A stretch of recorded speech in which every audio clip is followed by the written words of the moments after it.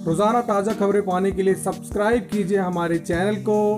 दबाइए इस घंटी के बटन को। पाएँ लेटेस्ट खबरें सबसे पहले।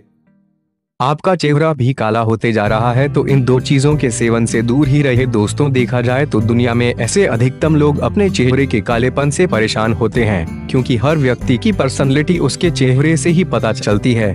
यदि आप भी अपने चेहरे के कालेपन से परेशान है तो आज के इस पोस्ट में हम आपको दो ऐसी चीज़ें बताने वाले हैं, जिसके सेवन से आपको बचना चाहिए। तो आइए जानते हैं इन चीज़ों के बारे में एक। कोल्ड ड्रिंक, दोस्तों, यदि आप ज़्यादा तौर पर कोल्ड ड्रिंक का सेवन करते हैं तो इसका परिणाम आपके चेहरे को झेलना पड़ सकता है।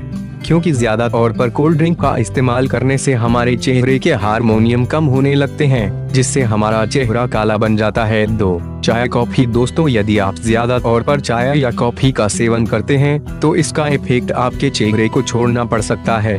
क्योंकि ज़्यादातर लोग तनाव को कम करने के लिए चाय या कॉफ़ी का सेवन करते हैं, लेकिन इसका अधिक सेवन से आपके चेहरे का रंग कम होने लगता है।